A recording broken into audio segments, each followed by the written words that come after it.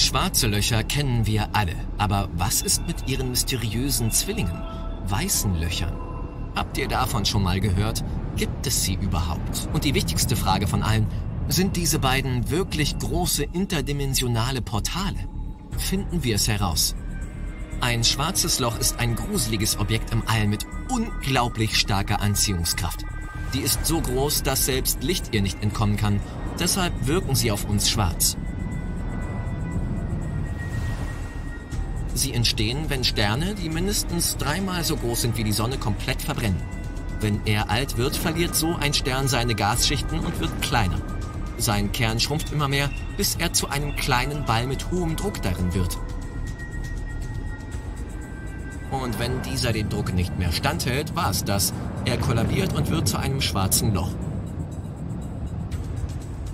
Und ja, wir haben noch viel darüber zu lernen.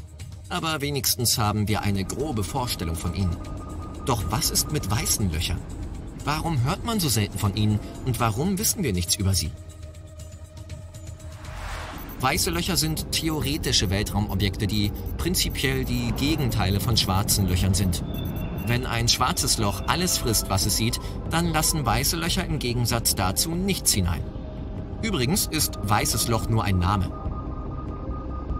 Sie würden für uns nicht wirklich weiß aussehen. Stellt euch vor, ihr reist in einem Raumschiff. Plötzlich seht ihr etwas, das wie ein normales schwarzes Loch aussieht. Es ist von einem hellen, rotierenden, riesigen Ring aus Weltraumstaub und Gas umgeben. Doch als ihr länger zuschaut, seht ihr etwas Ungewöhnliches. Dieses Loch spuckt Materie aus. So etwas wäre bei schwarzen Löchern undenkbar. Erst dann werdet ihr merken, dass es ein weißes Loch ist, denn sie sehen gleich aus. Beide dieser Weltallphänomene haben einen sogenannten Ereignishorizont, was so etwas wie eine Grenze ist. Bei einem schwarzen Loch gibt es ab dieser Grenze kein Zurück mehr. Wenn man sie überschreitet, war's das. Aber bei einem weißen Loch ist die Grenze eher eine unsichtbare Wand, die man nicht durchschreiten kann. Es ist wie ein Edelclub, aber für niemanden. Hier ist ein interessanter Gedanke. Ein weißes Loch erhält irgendwoher und irgendwie Materie. Aber dann hört es auf, die Materie zu absorbieren und fängt an, sie auszuspucken. Das bedeutet, dass es Überreste der Vergangenheit ausspuckt. Aber was genau ist diese Vergangenheit? Kann ein weißes Loch etwas ausspucken, was einmal existierte und lange verschwunden war? Können diese Dinge unsere Welt irgendwie beeinflussen? Der Gedanke ist etwas besorgniserregend, ich gebe es zu, aber ihr könnt euch entspannen. Denn bislang haben wir noch kein einziges weißes Loch gefunden. Das könnte daran liegen, dass wir noch sehr wenig über den Weltraum wissen. Im 20. Jahrhundert verursachten Albert Einstein und seine Relativitätstheorie eine wahre Aufruhr in der Welt der Physik. Er entdeckte etwas Unglaubliches, nämlich dass Schwerkraft als unsichtbare allmächtige Kraft Raum und Zeit biegen kann. Diese Entdeckung war ein echter Durchbruch. Erst da deuteten Forscher die Existenz schwarzer Löcher an. Doch sie brauchten 40 Jahre, um diese Weltraumobjekte zu verstehen oder ihre Existenz überhaupt zu beweisen. Erst kürzlich erhielten wir das erste Foto eines schwarzen Lochs im Zentrum der Galaxie M87. Vielleicht erinnert ihr euch daran, viele Menschen lachten darüber, weil es zu verschwommen war. Allerdings sollten wir mehr Respekt vor den Forschern haben. Dieses Foto entstand durch eine internationale Kollaboration von Raumstationen und acht bodengestützten Teleskopen. Es bedarf also eines riesigen Aufwands und vieler Ressourcen, nur einen kleinen Beweis der Existenz schwarzer Löcher zu erhalten. Kein Wunder, dass wir ihre Zwillinge noch nicht gefunden haben, aber einige Forscher denken auch, dass es weiße Löcher vielleicht gar nicht gibt. Lange Zeit waren sie eine logische Schlussfolgerung der Relativitätstheorie. Wenn schwarze Löcher existieren, warum sollten dann keine weißen Löcher erscheinen? Doch in letzter Zeit bezweifeln Forscher, dass weiße Löcher überhaupt möglich sind. Wir wissen, wie schwarze Löcher entstehen. Aber damit ein weißes Loch entsteht, müsste der gesamte Prozess umgekehrt ablaufen, was nicht viel Sinn ergibt. Wir können ein Ei nehmen und zu einem Omelett machen. Aber wie machen wir ein Omelett wieder zu einem Ei? Das gilt nicht nur für Essen. Am Anfang hat alles im Universum eine klare definierte Form und diese wird mit der Zeit immer chaotischer. Das ist eines der statistischen Gesetze des Universums. Außerdem scheint es, als könnten weiße Löcher nicht sehr lange bestehen. Sie würden viel von ihrer Masse und Materie ins Weltall schleudern. Alles würde sich um sie ansammeln, bis das weiße Loch schließlich kollabieren und zu einem weiteren schwarzen Loch würde. Was für ein merkwürdiger Kreislauf. So sehe der Prozess aus, wenn man Logik anwenden würde. Wir alle wissen aber, dass das Universum viel zu cool für unsere kleinen, einfachen Gehirne ist. Es gibt so viele Dinge im All, die keinen Sinn ergeben, aber trotzdem existieren. Einige Physiker versuchen, weiße Löcher aus der wissenschaftlichen Vergessenheit zurückzuholen. Ihr Hauptargument beginnt mit folgender Frage.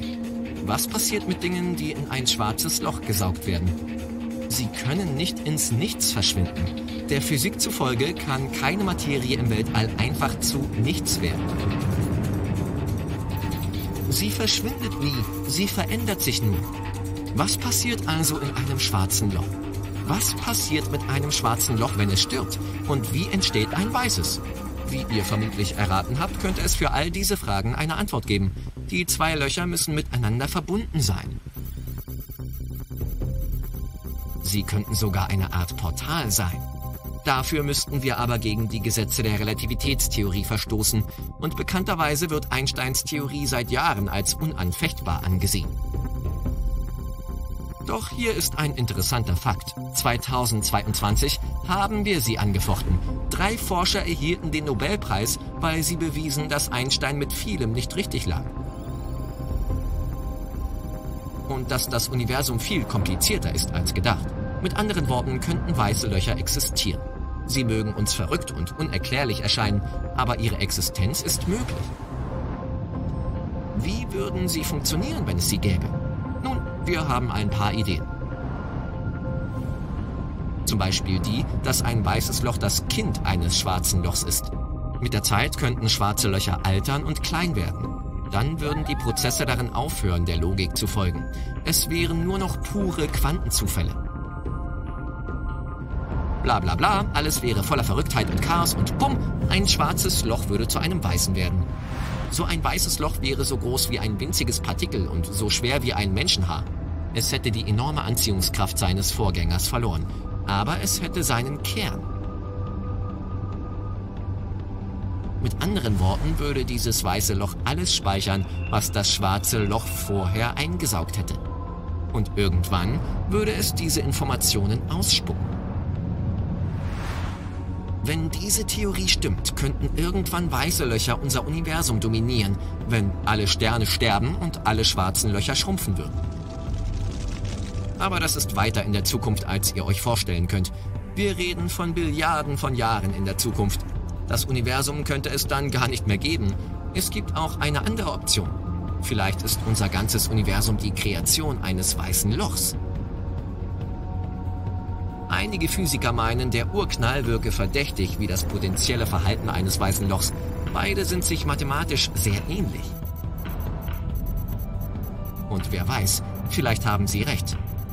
Naja, es gibt haufenweise Dinge im Universum, über die wir nichts wissen. Und vielleicht werden wir eines Tages das Geheimnis dieser Zwillinge lüften. Hoffen wir nur, dass sie sich als coole interdimensionale Portale entpuppen. Hast du dich schon mal gefragt, wie ein schwarzes Loch klingt? Die NASA hat es für dich aufgenommen. Das ist ein schreiendes schwarzes Loch. Schreien im Weltraum, wie soll das denn gehen, wenn man im All nichts hört, wirst du sagen. Pass auf, ich erklär's dir. Mit einem Teleskop untersuchte die NASA 2002 die Bewegungen von Gas in einem Galaxienhaufen. Dann haben sie das, was sie gefunden haben, in eine Sonifikation umgewandelt, also einen Klang erzeugt. Was man hörte, klang zwar nicht besonders schön, aber okay. Immerhin konnte man den Krach hören, den das heiße Gas in dem 250 Millionen Lichtjahre entfernten Galaxienhaufen erzeugt. Hey, willst du hören, wie Gase auf der Erde klingen? War nur so eine Idee. Die Schallwellen, die sich dort oben im Gascluster ausbreiten, wurden von Fachleuten auf den Bereich des menschlichen Gehörs skaliert. Sie haben also Daten vom Teleskop umgewandelt. Das Prinzip ist universell. In unserer Atmosphäre können wir Dinge hören, weil sich Druckwellen durch ein Medium wie Flüssigkeit oder Gas bewegen. Auch die Schallwellen in diesen Galaxien bewegen sich, weil sie ja von Gas umgeben sind. Du fragst dich, was das mit schwarzen Löchern zu tun hat. Naja, das, was diese Druckwellen in dem Cluster auslöst, ist ein riesiges schwarzes Loch. Genauer gesagt, es ist ein supermassives schwarzes Loch, das Millionenmal mehr wiegt als die Sonne. Wow. Fachleute verstehen die Verbindung zwischen supermassiven schwarzen Löchern und den Clustern, die sie umgeben, noch nicht ganz. Sie wissen nur, dass sich beide gemeinsam entwickeln und in einer Wechselbeziehung zueinander stehen. Das Cluster füttert das schwarze Loch mit Material und im Gegenzug heizt das schwarze Loch das Cluster auf. Mehr wissen wir bisher noch nicht. Ich habe mich ja gefragt, wie groß die größten schwarzen Löcher sind. Herausgefunden habe ich, dass es vier Arten von schwarzen Löchern gibt. Stellare, mittelgroße, supermassive und kleine. Die größten fallen natürlich in die Kategorie der supermassiven Löcher. Und das größte, das wir bisher im Universum entdeckt haben, ist etwa 66 Milliarden Mal größer als die Sonne. Es ist auch eines der hellsten Objekte im Universum. In der Astronomie wird das Weltall abgescannt und man findet immer wieder neue schwarze Löcher. Weißt du eigentlich, wann das erste schwarze Loch entdeckt wurde? Das war 1971. Es wurde von verschiedenen Forschungseinrichtungen unabhängig voneinander entdeckt. Man konnte erstmals bestätigen, dass diese Objekte aus den Überresten massereicher Sterne entstehen und dass ein schwarzes Loch nach der Entstehung alles in der Nähe verschlingt. Ich erkläre dir kurz, wie diese Weltraumobjekte funktionieren. Also, ihre Gravitationskraft ist super stark. Nichts kann einem schwarzen Loch entkommen, nachdem es einmal den Ereignishorizont überschritten hat. Schwarze Löcher verschlingen wirklich alles. Sie fangen sogar Licht ein. Noch cooler, aber auch gruseliger ist, dass die Gesetze von Zeit und Raum dort verzerrt werden. Falls du in ein schwarzes Loch fällst, hättest du mehr Zeit zum Nachdenken, weil die Zeit dort langsamer abläuft. Einstein erklärte das in seiner allgemeinen Relativitätstheorie. Einfach ausgedrückt geht es darum, dass die Zeit davon beeinflusst wird, wie schnell du dich bewegst. Übrigens hat die NASA ein schnell wachsendes schwarzes Loch entdeckt. Aber keine Panik, unsere Welt ist nicht in Gefahr. Dieses schwarze Loch behält man in der Astronomie schon länger im Auge. Es liegt in einer Region eines gut untersuchten Himmelsfeldes es heißt, dass sich dieses Loch 750 Millionen Jahre nach dem Urknall gebildet hat. Du weißt schon, das war die Geburt unseres Universums. Also, warum sind schwarze Löcher so hell? Das klingt ein bisschen ironisch, immerhin sind schwarze Löcher so dicht, dass sogar Licht darin gefangen wird. Wie können sie also hell sein? Aber hör dich in der Astrophysik um. Man wird dir bestätigen, dass schwarze Löcher zu den hellsten Objekten im Weltraum gehören. Und das liegt daran, dass schwarze Löcher nicht alleine existieren. Sie befinden sich in den Zentren von Galaxien und sind von Wolken aus heißem Gas umgeben. Und diese Wolken bilden eine kosmische Aura um schwarze Löcher.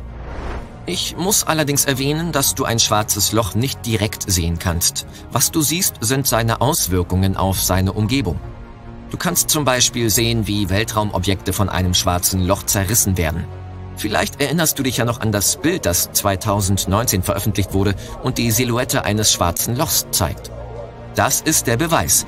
Wir würden das schwarze Loch nicht sehen, wenn es nicht diesen orangefarbenen Ring hätte. Aber warum ist er orange und nicht grün oder lila? Der dunkle Kreis im Inneren ist der Schatten des schwarzen Lochs. Das leuchtende Orange des Rings auf dem Bild ist aber nicht der echte Farbton des Gases. Das ist nur eine Darstellung, die man gewählt hatte, um die Helligkeit der Emissionen zu zeigen. Es heißt nämlich, Gelb hat die stärkste Emission, Rot ist weniger intensiv und Schwarz hat wenig oder gar keine Emission.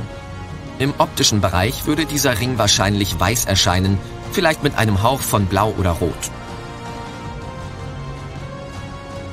Spaghettifizierung ist nicht nur ein Wort, sondern auch ein Fachbegriff und damit wird eine interessante Fähigkeit von schwarzen Löchern beschrieben. Wenn eine Giraffe in ein schwarzes Loch fallen würde, würde sie sich zu einer langen Spaghetti ausdehnen.